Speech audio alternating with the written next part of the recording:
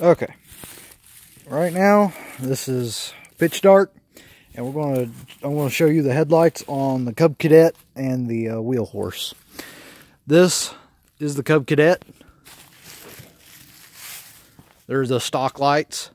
And then whenever I bought it, the guy who uh, had it before me put the spotlight on the back and two marker lights, which I think are awesome.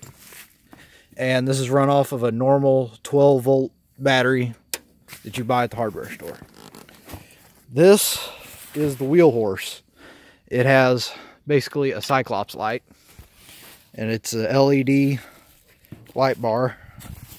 It's uh, basically that right there. Got it for like $19 at Walmart. And it is run off of,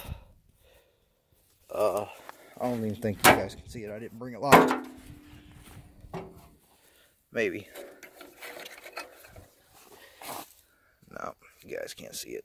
Anyway, it's a 12 volt uh, Milwaukee battery I took from my dad. It's uh, really nice. And you, this this right here doesn't even have a battery in it. It's a pull start. And that no battery to run down because you just go grab another battery. And I can run it off of uh, 18 volt or 12 volt, which is that one. And uh, that is the headlight situation on the wheel horse and Cub Cadet.